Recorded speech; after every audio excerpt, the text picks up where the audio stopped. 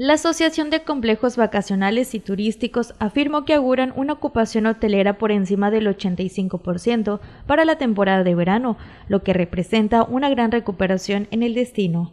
El principal mercado que arriba en los complejos es el de Norteamérica, es decir, entre Estados Unidos y Canadá, el segundo lugar lo ocupa el nacional, el cual es uno de los más importantes al ser un gran cliente. Sin embargo, también han observado un buen porcentaje de visitantes colombianos, aunque aún no pueden considerarlo como uno de los mercados con mayor afluencia, aunque si la tendencia continúa podría alcanzar los números que representan los turistas brasileños.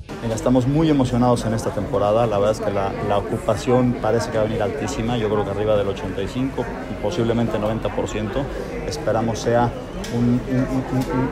una excelente temporada, ya estamos en plena recuperación. Al final del día nuestro mercado principal es el americano, ¿no? o sea, creo que alrededor del 80% está enfocado en, en Norteamérica, entre, entre, Estados Unidos y Canadá. El segundo mercado más importante es el nacional. La verdad es que el mercado mexicano es, es importantísimo para nosotros, es un, es un gran cliente, es un gran miembro.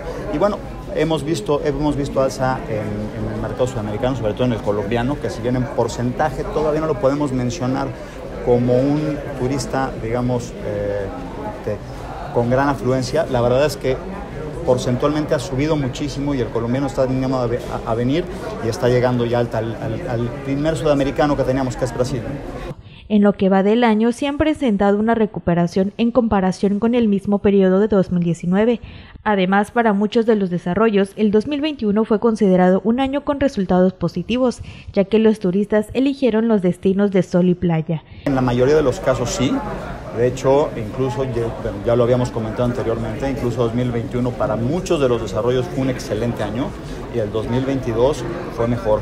La verdad es que había mucha incertidumbre pensando que el 2021 fue un muy buen año porque teníamos otros mercados cerrados como la República Dominicana, Jamaica, pero la verdad es que el turista que vino, que a lo mejor antes prefería esos otros mercados, vino, nos conoció, se enamoró como siempre de la gran marca que tenemos que es México y lo hicimos ya cliente asido, ¿no? Este, llegó, compró membresía y llegó para quedarse, porque a pesar de que ya abrieron los, los demás destinos, la verdad es que nosotros seguimos recibiendo muchísimos turistas, seguimos eh, haciendo crecer el turismo aquí. Ustedes lo pueden ver con la afluencia del aeropuerto que está en los picos más altos históricos.